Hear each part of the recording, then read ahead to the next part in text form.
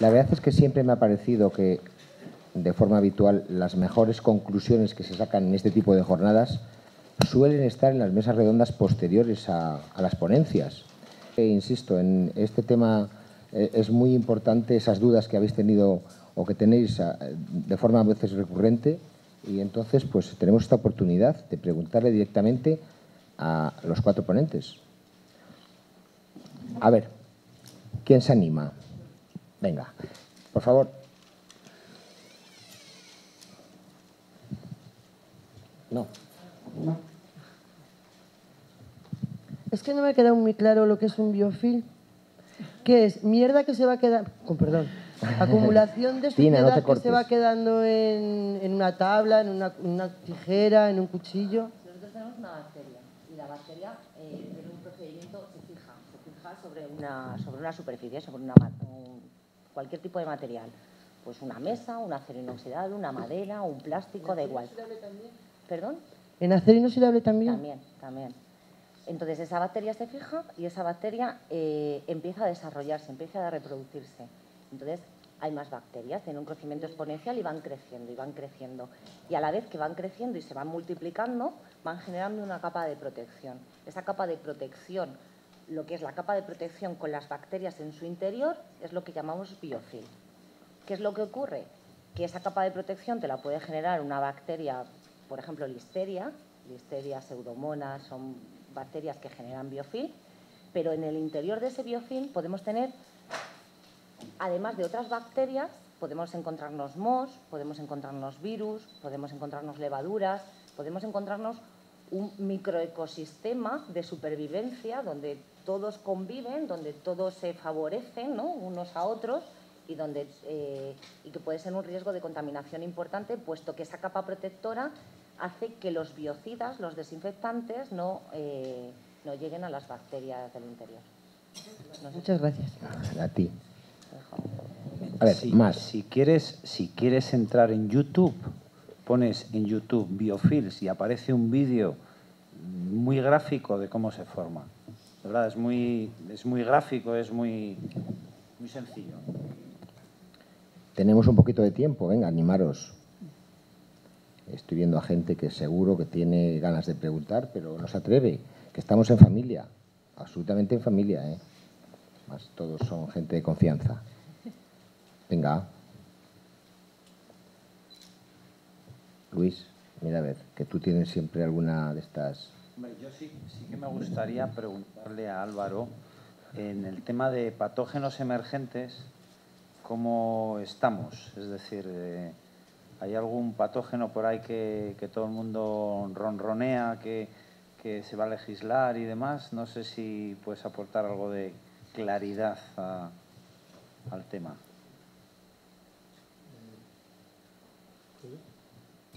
Oye, bueno, pues que, yo sepa, tampoco es que esté yo eh, a nivel europeo, que es donde es la EPSA, la Autoridad Europea de Seguridad Alimentaria, la que, la que maneja, la que propone estos temas a la Comisión Europea y la que estudia y eh, emite unos dictámenes en cuanto a patógenos emergentes. Sí que estará muy, muy eh, de moda, digamos, eh, Campylobacter. Campylobacter sí que cada vez era una cosa que no estaba ni legislado, eh, se sabía que había una prevalencia bastante alta, sobre todo en, carne de aves, y poco a poco pues, se va a ir eh, introduciendo en la legislación cada vez más, cada vez más se va a obligar a los operadores a que hagan sus propios muestreos de Campylobacter, porque sí que es un viejo conocido pero sí que es verdad que es eh, el patógeno que, mayor número de intoxicaciones o enfermos eh, eh, provoca a nivel mundial y a nivel europeo. Sí que es verdad que es de poca patogenicidad y no provoca cuadros graves, pero, pero va por ahí. Después está un mundo que yo creo que llegará en un futuro, que la legislación todavía no ha llegado, es el tema de los virus. No tenemos prácticamente nada legislado y también, también No sé si contesto tu pregunta. Sí, sí, perfectamente. No, lo único, eh, a mí me sorprende que es que hay un montón de alertas a nivel eh, internacional de, en Estados Unidos, el Campylobacter, yo no sé si es que tiene una legislación muy restrictiva al respecto o que está puesto mucho, muy el ojo en ese tipo de, contaminante, pero aparece mucha leche cruda con, presencia de Campylobacter y mucha alerta alimentaria. Entonces, no sé si es por la propio sistema productivo o por...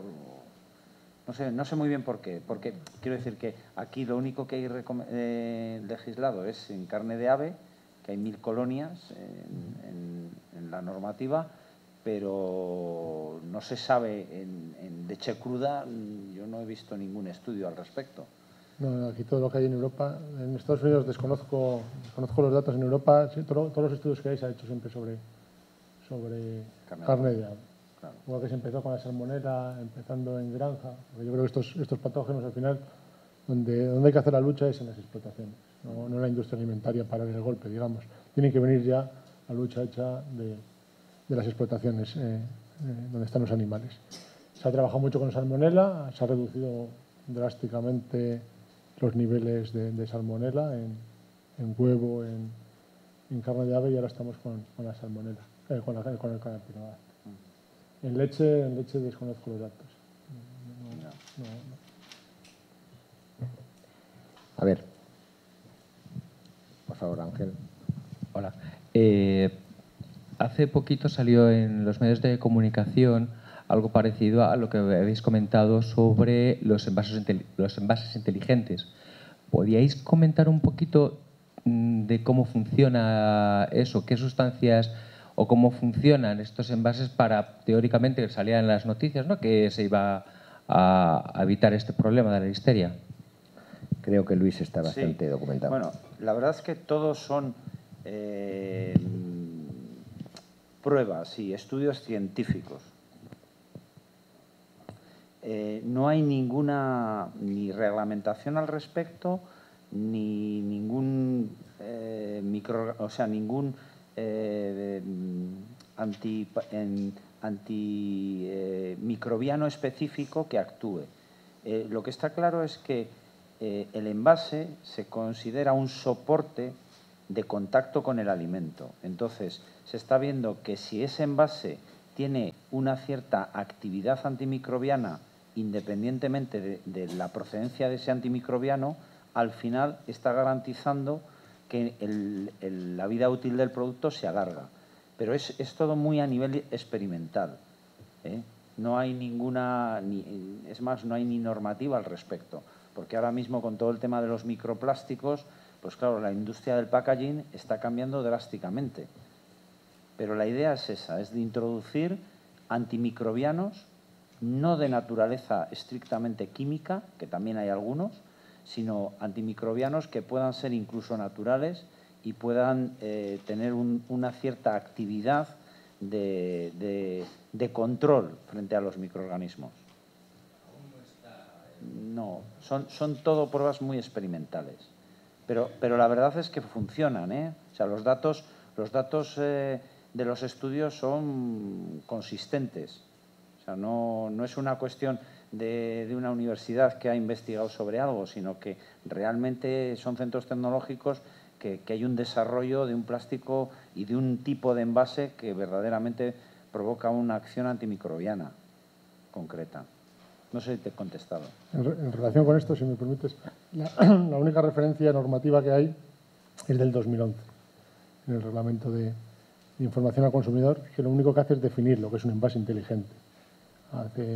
Introduce nuevas definiciones, eh, define eh, envase inteligente, ahora no las recuerdo, pero es aquel que, libera sustancias que alargan de alguna manera la, vida del alimento, introduce alguna definición más de nanomaterial y cosas así, pero vamos, es todo eh, a nivel... estamos empezando. A ver, Silvia, ¿no? Que me ha sorprendido mucho la gráfica que habéis mostrado Luis y Álvaro del tema de que en países a lo mejor como, Alemania hay una mayor tasa de identificación de la listeria. Y mi pregunta es si viene porque se busca de una forma más eficiente a nivel sanitario, se busca más eficientemente a nivel sanitario humano en hospitales cuando alguien presenta, o si se debe porque ellos tienen una legislación un sistema que permite al agricultor o al ganadero vender directamente de cara al público, lo cual conlleva a que haya ciertos patógenos, pues como puede ser antiguamente que la leche se vendía directamente de la granja, iban las personas y la compraban y bueno, pues los casos de, gente que enfermaba por no hervir bien esa leche, etcétera, eran mayores. O sea, un poco en qué línea se mueven esos datos. Excelente pregunta. Pues aquí la administración yo creo que nos puede. voy, a intentar contestar. Al final esto de, los datos es muy difícil comparar. Hay que, hay que mirarles muy al detalle para, para sacar conclusiones. A veces se sacan así muy por encima, sin verles, verlos por encima, se sacan ya conclusiones un poco precipitadas. Puede influir muchísimas cosas. El sistema de notificación, yo lo veo porque conozco el sistema de las comunidades autónomas de, aquí, de, este país, y muchas veces dices, pero ¿cómo puede ser que, esta comunidad notifique algo con unas diferencias tan abultadas cuando los hábitos de consumo, los, alimentos que se consumen son los mismos?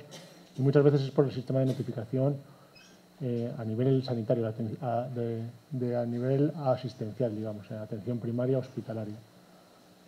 Eh, y aquí creo que vaya eh, en esa línea. Puede ser que en Alemania hagan más pruebas, a, siempre que hay casos compatibles con síntomas compatibles con listeria, busquen listeria y, y en España se haga, se haga, menos. No creo que haya diferencias porque estén más contaminados los productos alemanes. Yo creo que va más por el sistema de notificación que por, el, por la tecnología industrial, el tipo de alimentos que se consumen. Yo estoy de acuerdo, pero tengo un pero. y es el siguiente. Eh, mm, yo tengo bastante relación con laboratorios de Europa, laboratorios como Analiza Calidad, ¿no? Y el nivel de control a nivel comunitario en países, y, y no voy a decir todo el centro de Europa, ¿eh? pero Francia, Alemania, Bélgica y Holanda son países donde el nivel de requisitos establecidos desde el punto de vista del control es mucho mayor que en España, que en Italia, que en Grecia eh, y algún otro país. Entonces, no, quiero decir que, lo que comenta Álvaro sea, sea una cosa banal, no, no. O sea, es verdad que tiene un sistema mucho más potente, pero también tiene un control muy potente. Entonces, claro, esto al final redunda, pues eh, el que, yo no sé si recordáis, eh, los que ya peinamos un poco para atrás, como digo yo, eh, la legionela no empezó a existir hasta que se empezó a controlar. Y de repente había legionela en todas las instalaciones. ¿Qué pasa? ¿Que antes no lo había? Pues evidentemente no, ¿no? Es decir, que hay una parte de control que es muy importante que al final se ven las, en las alertas y en las notificaciones. Mira, hay otro dato muy anecdótico. El PIF, el punto de inspección fronteriza de Algeciras, pasan una media de 2.000, 3.000 contenedores todos los días. Eh, el nivel de control que hay en ese PIF es de entre un 2 y un 5%. Entonces, claro, al final ese porcentaje significa que vas a poder ver productos que entren a la comunidad europea, porque es PIF, en, España y a través de España a Europa, con esos porcentajes de control. Nos guste o no nos guste. Es decir, ¿nos van a colar cosas? Seguro. Pero es que esto es lo que hay. No se puede llegar a un control del 100%. Entonces, los grados de control siempre afectan a los grados de notificación y a las alertas, independientemente de que el sistema sea más potente o menos potente. Muy bien. ¿Alguna pregunta más? En relación, con, en relación con lo mismo que estabais hablando, antes en el cuadro que has puesto de por comunidades autónomas de brotes, me dio mucho que ver que ni Asturias ni Galicia tenía un solo caso eh, declarado un solo brote. No, no, recuerdo los, datos. Sí, es que estamos hablando de que era proporcional a la población. Sí, sí, la tabla, la tabla no son de brotes, ¿eh? es, es de, de, pacientes que van... Eh, bueno, sí, un brote tiene... Pacientes. Vale, no, es lo mismo porque un brote es cuando hay una fuente común. Sí, sí, sí. Eh, es que lo que da que ver es eso, que, por ejemplo, esas dos comunidades... No es porque en Galicia estéis mejor, ¿eh? Se habrán confundido la tabla. yo las, diferencias básicamente las achaco al sistema de notificación. Ni uno, efectivamente. ¿Eh? Que no había ni uno, ninguna de las dos. Bueno, pues será... Yo... Pues, pues no es porque no haya enfermos del listeria. Eso estoy seguro. Yo siempre lo, digo con el, con el Campylobacter. El Campylobacter se notificaba en Europa durante muchísimos años, ya se viene notificando Campylobacter. En España nunca había Campylobacter. En Portugal, no sé si era en Portugal, nunca había triquina. No, es que hay que, hay que buscar las cosas. Cuando las buscas, eh, salen. Con el caso este de, Andalucía de, de, listeria, pues aquí en, en Castilla y León, y supongo que en todas las comunidades autónomas, cualquier paciente que fuera a un hospital con unos síntomas compatibles con, con, listeria se buscaba listeria. Y ya si, se les hacía la encuesta epidemiológica y decían que habían consumido eh, carne mechada o algo parecido, eh, se, hacía la prueba. Entonces, como hacíamos muchas más pruebas, salían muchos más y se notificaban muchos más.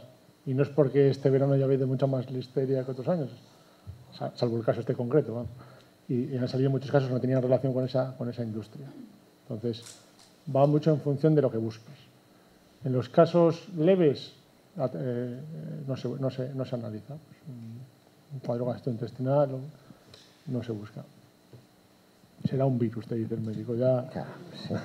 vale. Entonces no. Creo que Ruth tenía que comentar algo. Quería preguntar a la Administración, desde el punto de vista de, de la industria como productores, imagínate en un supuesto que nos da un positivo en listeria o cualquier, otra, cualquier otro problema.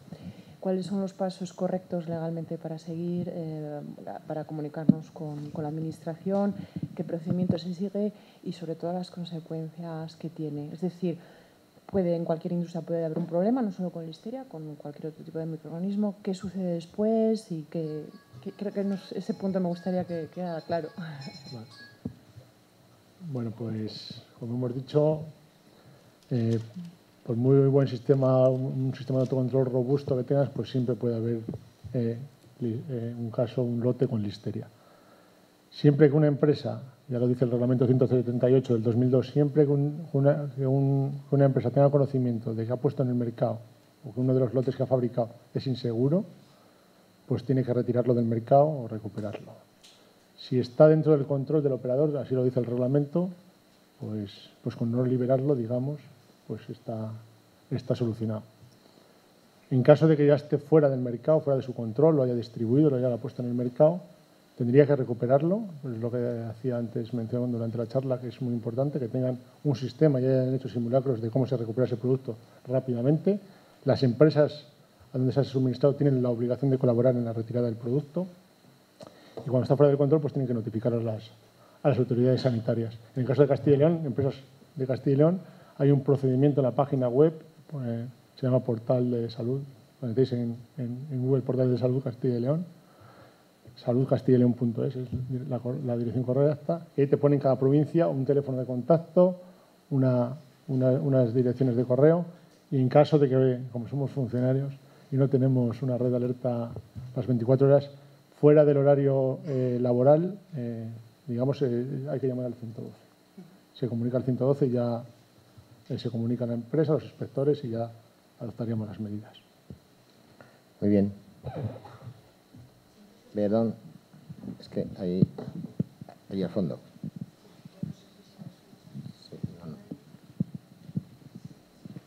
Te van a pasar el micrófono ahora mismo. Eh, hola, eh, quería preguntar, no sé a quién de los ponentes en concreto, a lo mejor a todos, o a lo mejor me decís que a ninguno. Eh, somos responsables de una empresa alimentaria pública de clientes de alto riesgo y mi pregunta es la siguiente. Mm, ¿Cuál es el método, eh, no sé si al 100% fiable de la detección de la listeria? Eh, métodos rápidos, métodos N5, como habéis hablado, pero no, no, no ha quedado del todo claro. No sé si me he explicado. Sí. Luis, a ver, si es. ¿Cuál es el método fiable para la detección de la listeria? Pero método fiable. El rap, habéis hablado de unos métodos analíticos, por supuesto. Sí, sí. Habéis hablado de unos rápidos, de unas verificaciones en N5. Eh, ¿Podéis explicar esto un poquito más? Gracias. te voy a contestar como los gallegos, porque me, apellido gallego. Eh, has dicho que tienes clientes de alto riesgo. Sí. ¿Qué tipo de clientes son? Pacientes. Ah, pacientes hospitalarios. Vale, perfecto. Vamos a ver, mira, todos los métodos analíticos, todos los métodos analíticos tienen una parte buena y una parte mala. Todos. Hay métodos que son mucho más sensibles, son mucho más selectivos, pero pueden dar reacciones cruzadas. Es decir, dependiendo del tipo de alimento, o sea, es decir, no hay, si lo que vas buscando es un, es un equipo analítico que te dé en todo tipo de productos, porque me imagino que lo que tú estás hablando son platos ya elaborados, ¿no? Si nosotros elaboramos en línea fría, nuestra vida útil es de 5, producto elaborado, y donde más eh, analizamos posibilidad de listeria es en platos fríos. Claro que es donde pues más riesgo hay, tenemos entendido. Entonces, ¿cuál es el método fiable? Eh, cualquier laboratorio que presenta una metodología para la detección de listeria nos sirve a nosotros como empresa alimentaria. A ver, esto es una selección de proveedores. Vamos a ver. Dentro de los métodos analíticos hay un estatus distinto que son los métodos analíticos acreditados es decir, laboratorios acreditados en una técnica o en otra. Dentro de los métodos rápidos hay métodos de inmunocromatografía, hay métodos de PCR por tiempo real, hay métodos, eh, método VIDAS, por ejemplo, y luego hay la microbiología tradicional. Eh, cada uno tiene su hándicap, es decir, eh, la microbiología tradicional tiene la garantía de que tú al final vas a estar eh, analíticamente viendo los microorganismos. En, un PCR, por ejemplo, simplemente vas a ver una reacción que tiene el ADN de, la, bacteria frente a, unos reactivos. Y tiene su parte de rapidez, es un método muy selectivo, pero también tiene posibilidades de interferencias con otros métodos. Es decir, tu pregunta me encantaría, de verdad, decirte, este es el método, pero no hay un método, eh, hay métodos, por ejemplo, fíjate, para industria cárnica hay algunas metodologías que funcionan mejor que otras para buscar patógenos. ¿Por qué? Porque el, producto cárnico tiene un pH adecuado a ese tipo de método, tiene unas características de actividad de agua eh, para ese método analítico y en producto lácteo se están buscando otro tipo de metodologías. Entonces, no hay un método universal, mágico, eh, bueno, bonito y barato. No lo hay, de verdad. ¿eh? Y me gustaría, porque quiero decir, para que te hagas idea, nosotros en nuestro laboratorio tenemos acreditado en un laboratorio microbiología tradicional, en otro laboratorio vidas para hacer 24 horas y estamos montando PCR.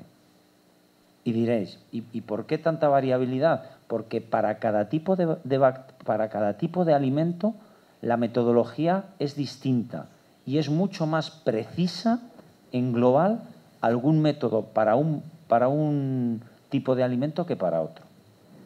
Ya siento no, no muchas, darte Muchas gracias. Eh, quería una última cuestión. Para el alimento sin tratamiento térmico, ¿cuál es el método desde su punto de vista más, eh, no perfecto, pero casi ideal. Es, vamos a ver. Sin tratamiento térmico. Da igual, si el tratamiento térmico va a depender del tipo de alimento. O sea, date cuenta que sin tratamiento térmico, un salmón ahumado tiene un pH mucho más bajo que, un producto eh, cárnico, por ejemplo. Un yogur tiene un, pH mucho más bajo. Entonces va a depender y no, y no tiene eh, tratamiento térmico eh, algunos de los productos. Entonces, ahí habría que, ver cuál es el, método, cuál es el tipo de alimentos que más fabricáis en línea fría. A partir de ahí, como hemos comentado, hacer un estudio de desafío, porque eso sí que os va a indicar el microorganismo cómo evoluciona y a partir de ahí elegir un método.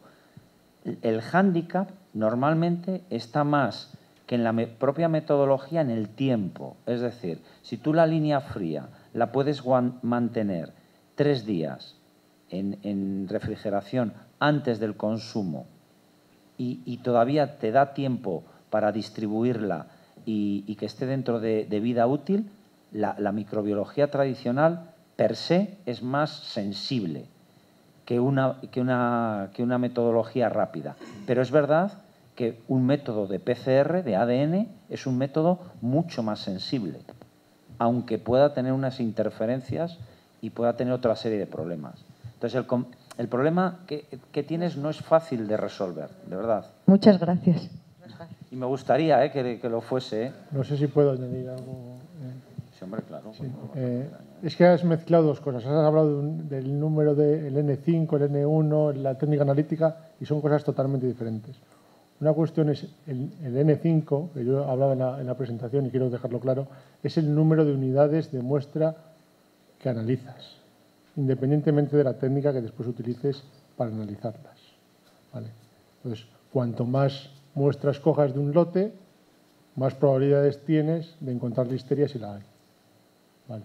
Eso es una cosa que quiero que quede bastante clara.